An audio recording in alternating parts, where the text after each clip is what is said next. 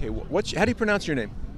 Uh, my if I, my, English uh, um, my Jewish name is uh, Likof or Lishim.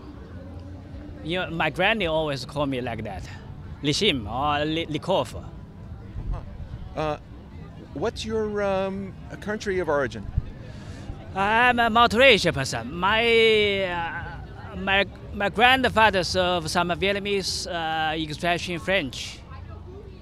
My granny is from Russia, of some uh, Jewish extraction.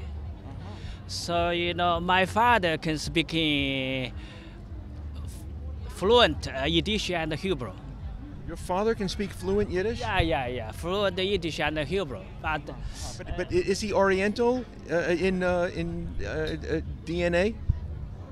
Uh, Is he Asian? what I. Is your father Asian? uh. As you, my granny is from Russia.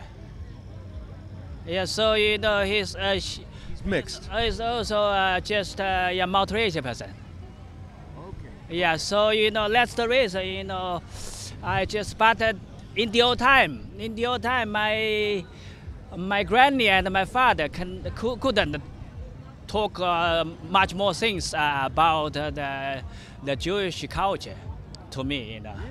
Yeah, for you know, uh, and uh, so this is uh, this is the reason I want to get to know the uh, the, Ju- the the Jewish culture and the Israel.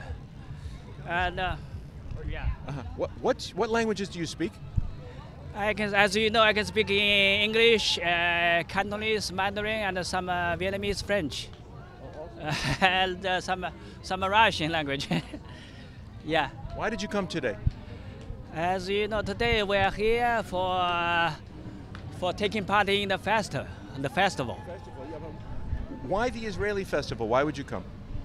Yeah, as you know, I'm of some uh, I'm of some Jewish extraction. I just uh, want, I want to get to know the uh, Jewish culture and uh, and uh, uh, the situation of Israel. The situation? Yeah, and uh, uh, I think uh, the most import, important thing I just uh, I I pay attention is that I just uh, I want to I want to get a document for for traveling. As you know, I have I'm a writer and I treat myself as a scientist.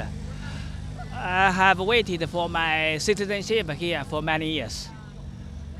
Uh, until now, I haven't got a standard document for traveling. and about um,